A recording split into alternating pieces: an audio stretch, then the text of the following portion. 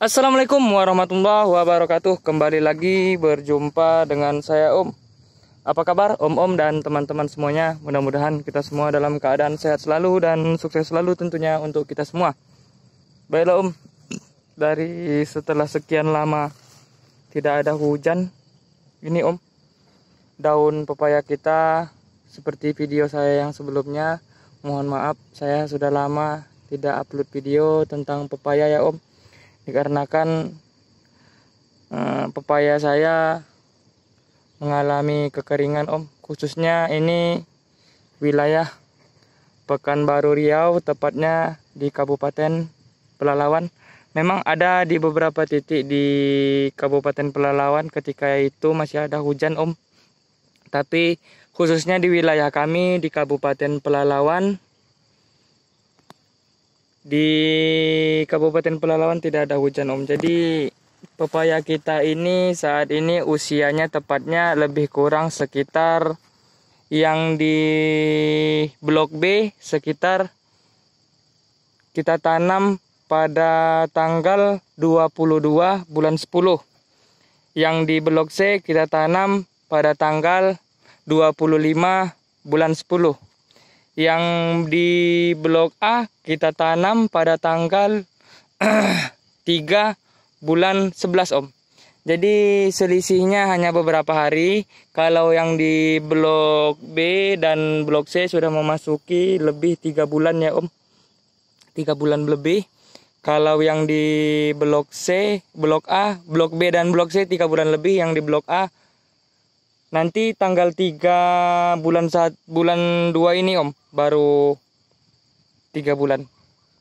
Jadi ketika itu saya sudah menjelaskan mengapa saya pepaya saya yang satu hektar ini menjadi menjadi menjadi saya mengapa saya bagi menjadi tiga blok dikarenakan kita agar tidak keteter dalam perawatannya ya om seperti sudah banyak video-video yang saya upload agar kita tidak terpukul mental dalam membeli pupuk dan merawat. Baiklah Om.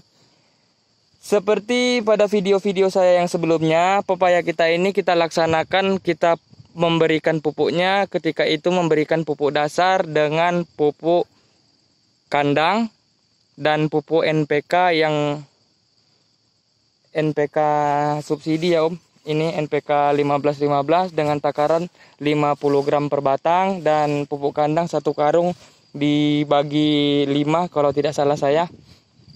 Jadi pemupukan pertama yang kita lakukan ketika itu setelah tanam sesuai tabel yang pernah saya upload ya Om yang direkomendasikan oleh PT Maroke Tetap Jaya ya Om.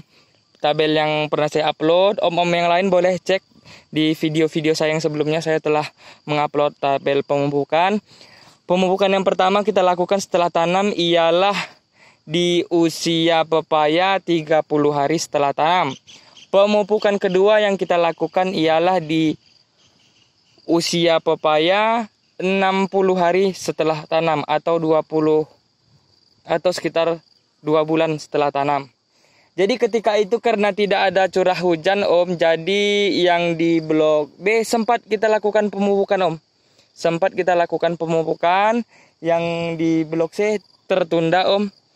Yang di blok B yang di blok A juga tertunda. Yang di B sempat kita lakukan pemupukan. Yang C di blok C kita tertunda. Yang di blok A juga tertunda. Maka dari itu karena sudah ada hujan om sebenarnya beberapa hari yang lalu sudah ada turun hujan om. Tapi tidak begitu om. Kalau ini tadi malam alhamdulillah sampai jam 8 tadi om masih ada gerimis om. Lebih kurang kita anggap sekitar 8 jam 7 jam deras om. Alhamdulillah om. Alhamdulillah. Jadi om sebenarnya pemupukan yang kedua ini sudah tertunda ya om. Makanya ketika udah ada hujan langsung aja kita pupuk. Ini sebetulnya tidak direkomendasikan untuk om-om dan teman-teman yang lainnya. Karena ini menurut saya rumput yang lunak tidak masalah.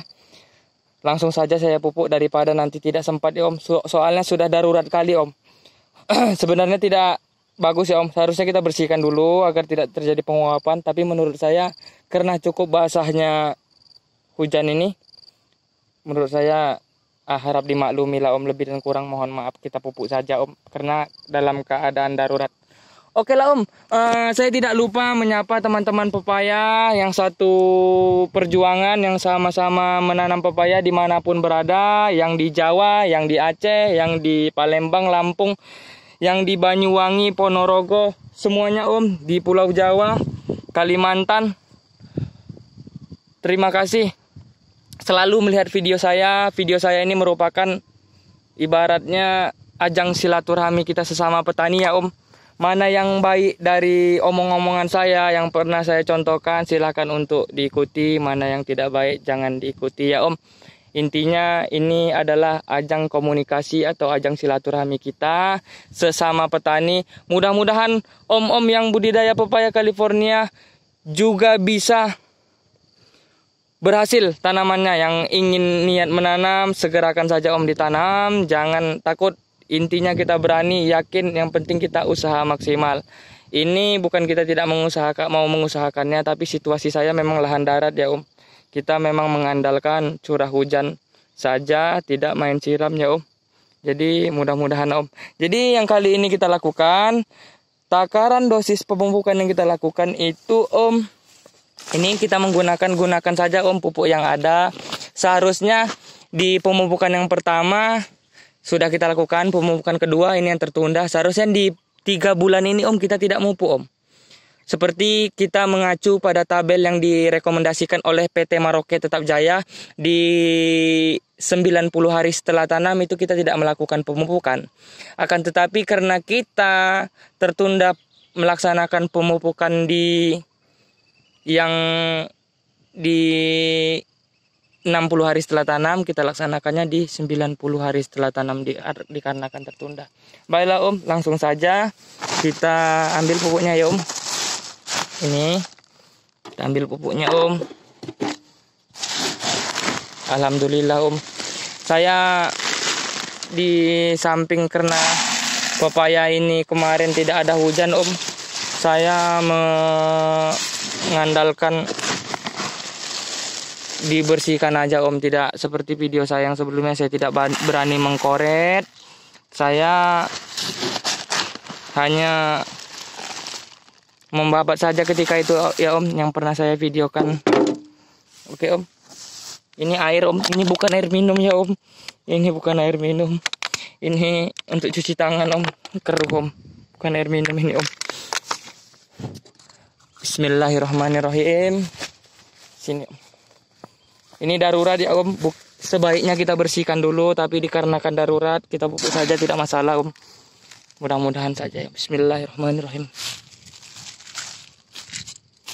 dikarenakan darurat om Bismillahirrahmanirrahim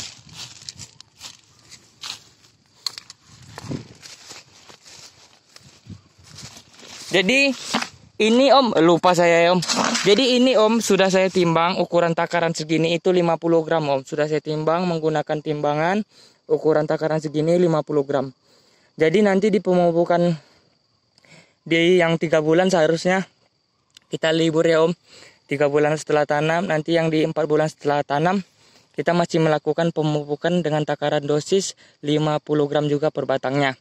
Kalau tidak salah saya nanti di pemupukan yang ke-5 kita libur lagi. Di pemupukan yang ke-6 kita baru memberikan takaran dosis kalau tidak salah saya 100 gram om. Langsung 100 gram kalau tidak salah saya.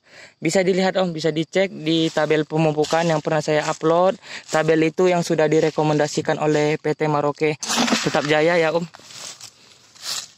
Jadi mungkin ini hari ini kita akan melaksanakan pemupukan langsung kita gas di blok A dan di blok C.